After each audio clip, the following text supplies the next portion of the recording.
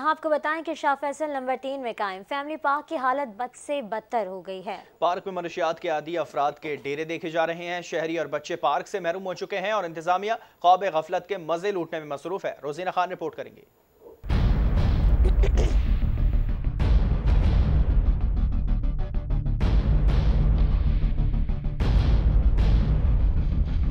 Shah Faisal number दो में कायम फैमिली पार्क कचरा डालने की बेहतरीन जगह बन चुका है। गंदगी और बदबू की वजह से अहले मोहल्ला परेशान। सारे ये पूरा कब्जा हो रहा है हमारे पार्क में।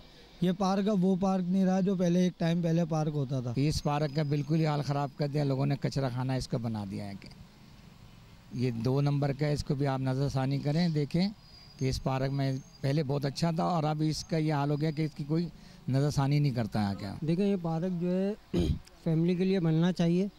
ये ज़रूरी है।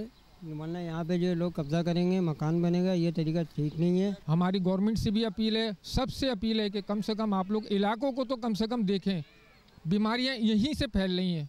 लोग कचरा डाल देते हैं, लोग कचरा देखें आप इसका हाल देखें, क्या हुआ हुआ है हम लोग सफाइयाँ कर करके थक गए। शाह फैसल में कायम फैमिली पार्क की जबू हाली आवाम का कहना है कि मंशियात फरोश और ओबाश किस्म के लोग पार्क में आकर बैठते हैं। क्या मुतल इंतजामिया खाब खरगोश के मज़े ले रही है? कैमरा मैन सैयद जाफ़र अली के साथ रोजीना खान के ट्वेंटी न्यूज़ कराची।